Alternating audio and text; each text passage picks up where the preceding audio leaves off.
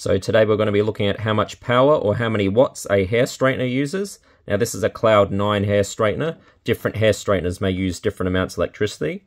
And also we're using a 240 volt circuit.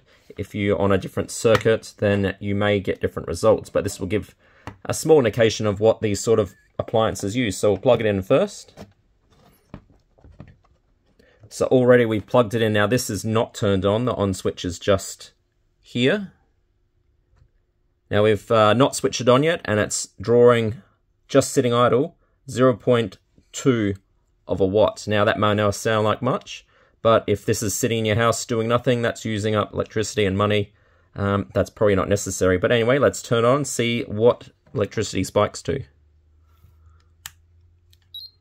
So that's turned on now. Probably see it's lit up. It's going for the lowest heat setting at the moment. Turn up in a minute and we'll have a look. So, so far, using 360 watts. So it had about a spike maybe around the 300s. And now it's coming back down a little bit. Probably because it's up to its temperature.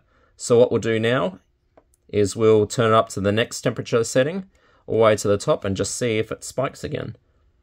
Yep, so that did spike spiked up to 350 it looked like for a moment there. And now it must have um, used used the right power amount to get up to the temperature because now it's sort of settling back down. So it seems like once it gets to temperature, it settles back down.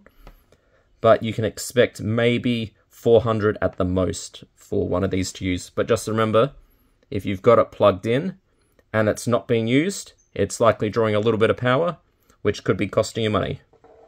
Subscribe for more tech videos and more power usage videos. Thanks for watching.